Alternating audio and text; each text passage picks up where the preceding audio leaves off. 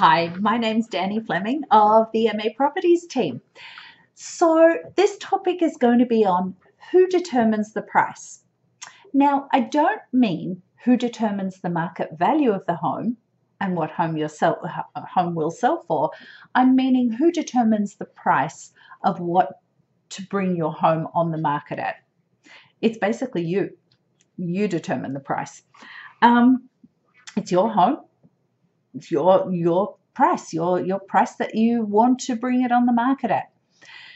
So there's a couple of things. How do you f- sort of figure out where the price could be around? Well, that's where your listing agent, um, the person that's going to help you sell your home, is, plays a major part. And it depends on the quality of the listing agent as to how much help you get from um, the listing agent. Some agents will just look at you and say, hey, what price do you want to sell your home for? And you pick a price out of the air. More often than not, that's going to be wrong. Um, you know that's that's what just some agents do. Um, some agents will give you a basic printout of some listings from MLS and pretty generic um, yeah, I think you probably sell them for more than that. Yeah, no, and that's your market analysis.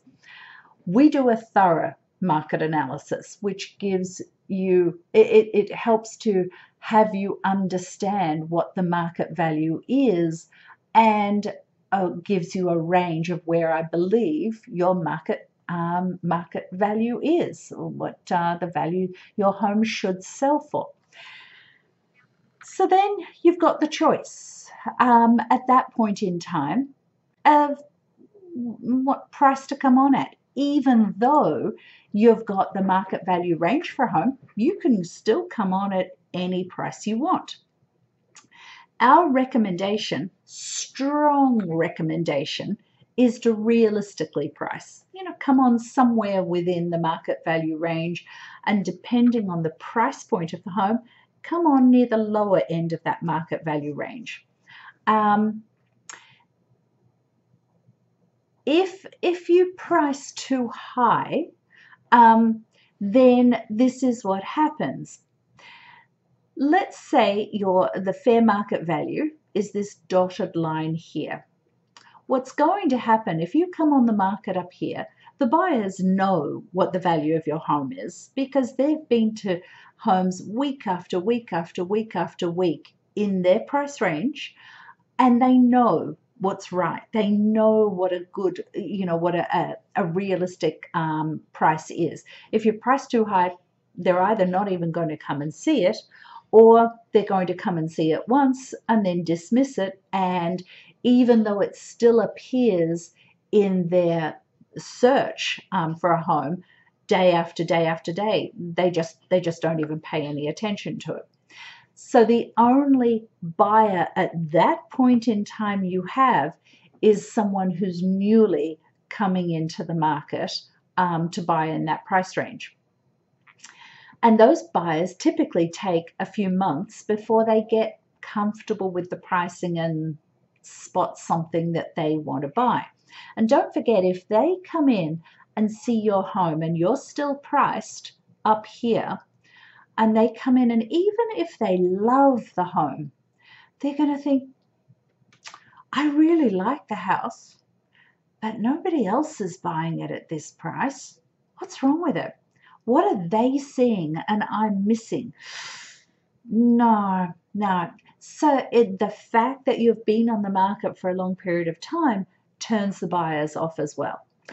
And those new entry um, buyers will not make a move on it because they know that it's been sitting on the market for that period of time. So then you need to do a price adjustment and you're stale on the market. It's really not going to make much of a difference. Even there was a home last year that dropped $220,000 in one hit. Nothing happened. Um, they dropped it another 50,000 after that. They dropped it another 50,000 after that. And it came off the market. Um, it came off the market uh, 11 months later, unsold. came back on the market again the following spring, well below what their initial asking price was, but they still got well below that. This is the impact of pricing too high because you can adjust the price, adjust the price, you can adjust the price well below the fair market value for your home of what it was when you first came on the market. But because the buyers, it's still stale, mm, it might get the attention of a couple who sort of think, hmm, maybe that's good value now. Maybe we should go and see it. but because it's been on the market for a period of time, mm, they're going to they're going to make a discount. Um, you know, they're going to require a discount um, off the the, um, the list price. So here's another graphic of what happens. Um, this is a graphic of the impact of days on the market to the sale price to list price ratio. Here's 100%.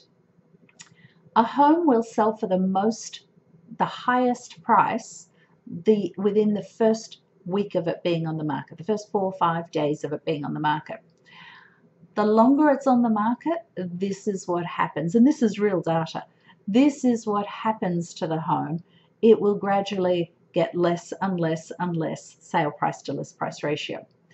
So who depend who who determines the price? It's your call, your decision as to who who um, makes uh, decides that price but you've got to actually understand the ramifications of both ways of doing it. Um, if you price realistically, you will sell within the first week of the home coming on the market typically.